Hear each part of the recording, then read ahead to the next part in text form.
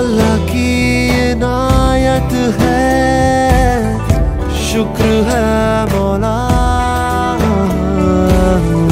सिलसिला इमामत है ज़िक्र है मौला